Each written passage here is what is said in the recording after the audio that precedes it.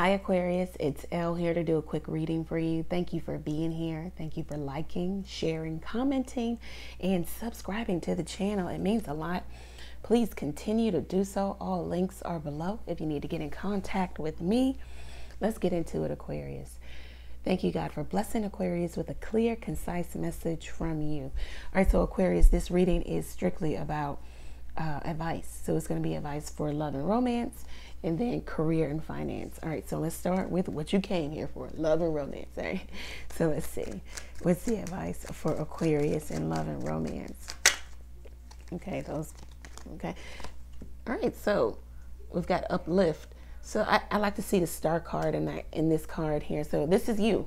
You are the center of it all. Some of you, you are in alignment. Like when I say in alignment, like you're in a good place in every aspect of, of your life and every chakra and all seven chakras. It's like you have uh, completely accepted you for you. Um, you can accept it where you are. Some of you are at a place of expressing and processing your emotions correctly, accurately. Yeah. Um, for some of you, a more stable, long lasting, committed relationship, a devoted relationship is coming in for you, okay?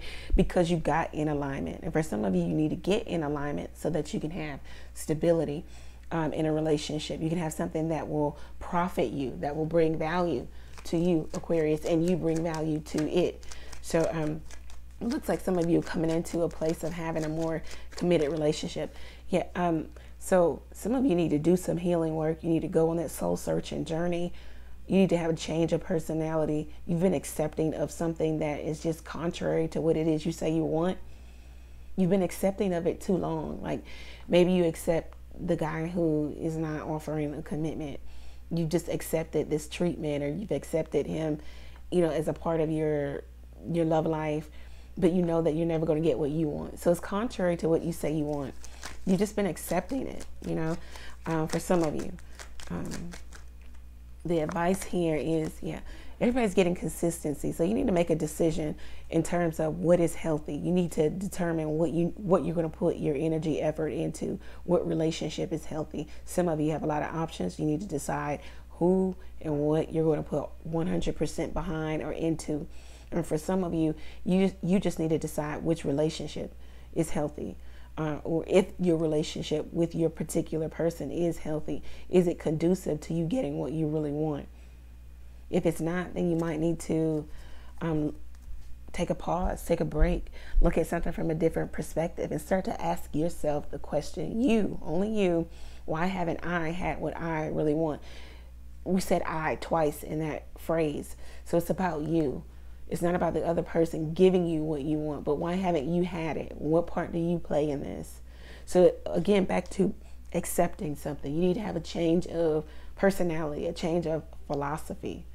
Maybe you, you, you feel like if you stick around long enough, if you're hard working, you're going to get what you really want. No, people will just continue to take, take, take. Um, and as you give, give, give. So you need to look at something. You need to turn something on its head here and then make some changes. All right, so let's see. In career and finance for the Aquarius. Career and finance for the Aquarius.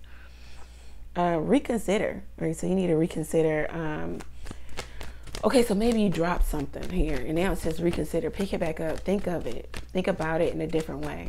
Um, recovery. Some of you are coming to a place of either you're in the beginning of recovering in your career in your finances or you're on the end of the recovery process you're about to walk into abundance and overflow okay? You've done the work. Maybe yeah um yeah perfect timing. It's like you're some of you about to come into something okay? It's like the universe setting you up for something maybe for you to reconsider something yeah. Look for a sign. Yeah the universe is setting you up for uh some for your situation to improve okay um, and it looks like it will. It just looks like maybe the universe is helping you get to a place of improvement, maybe shining lights on areas that um, are problem areas for you. Maybe you overspend, maybe you overindulge, maybe you have squandered some money that has come into you. That doesn't mean that you can't have and you won't have. It just means that possibly um, you need to get to a, a place of uh, shining light on that, change that, and then the universe is going to set you up for um, a perfect and divine destined time. Okay, for you to recover all that was lost. Some of you lost a lot. No. So um, this is what I have for you. If it resonates, let me know how it resonates for you. Uh, go over to the website, book there, ask a question or two by texting it to the number below. Catch me live every Tuesday, Thursday, and Sunday night, 9 30 p.m. Eastern Standard Time. Thank you guys. Many blessings to you. Take care.